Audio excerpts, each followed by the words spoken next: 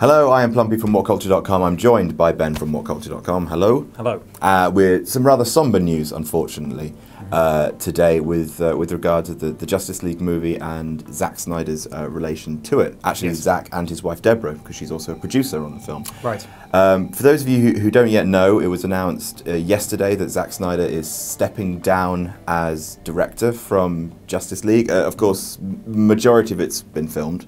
It's in post production. However, there there's new footage that is to be shot. There was a screening um, for just a very intimate circle, and then. On the back of that screening, it was decided that additional scenes needed to be shot. Joss Whedon was originally brought in to write those scenes, uh, and now uh, Joss Whedon is taking over uh, directing those scenes and supervising production um, for now until until it seems fit that Zack Snyder may return Right. to the project. The reason um, for this is uh, something that was not made public and has only been made public because Zack Snyder's had to leave production, which is unfortunately uh, back in March.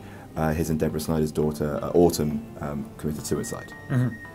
Which is absolutely awful, Uh, and our thoughts go to Zack Snyder and his family. Yes, absolutely, of course. Um, he's uh, released a statement to the Hollywood Reporter saying, uh, In my mind, I thought it was a cathartic thing to go back to work, just to bury myself and see if that was the way through it. The demands of this job are pretty intense. It's all consuming. The last two months, I've come to the realization uh, I decided to take a step back from the movie to be with my family, be with my kids who really need me. They're all having a hard time. I'm having a hard time. Um, which absolutely makes uh, complete sense.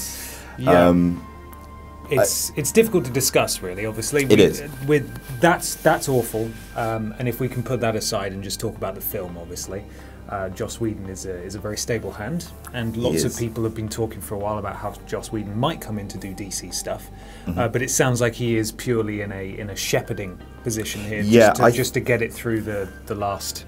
I think it would be a mistake for anyone to expect um, the movie to suddenly take on a different tone. A touch of Whedon. Yeah, I mean, like the, the these scenes that were originally going to be written by him will probably have his, some traditional snark of his, and Right. you know maybe like because they are. I'm, I'm sure they're supposed to be character scenes, and who does char- large ensemble character scenes better than Joss Whedon? Yep. Um, but of course, the tone has been set by Snyder. That's not going to be deviated from. As Warner Brothers president Toby Emmerich says, uh, Warner Brothers Pictures president rather, uh, the directing is minimal. Uh, and it has to adhere to the style and tone and the template that Zack set. We're not introducing any new characters. It's the same characters in some new scenes. He's handing the baton to Joss, but the course has really been set by Zack. I still believe that despite this tragedy, we'll still end up with a great movie. Um, obviously, we hope so. Uh, Yes. I know, like we've often, you know, we've dealt with the criticism that we, we're very critical of, of DC's output. Um, I, I believe that we come from the standpoint of we react to the movies as they are put in front of us. We Yeah. watch the movies and we give you our opinions on the movies. And I don't think we've ever gone in hoping that a movie's going to be bad. Right, exactly. I, I like I like superheroes. I like superhero films. I grew up watching Batman the animated series Yep. and loving all of that stuff. In, in, in comics term, I'm a DC boy at heart. I that that's where my loyalties lie there. Um, so obviously, we hope the Justice League um, movie comes together. Yes. So yeah, uh, obviously, our, our thoughts are with the Snyder family, um, and yes, res- respect, big Yeah, respect. massive Zack respect Snyder. to Zack Snyder for actually coming back to work and trying to trying to finish the film under under the circumstances. Obviously, that takes a, an immense amount more uh, testicular fortitude than I would have because it, it must be absolutely awful. You can't imagine. You just you just can't.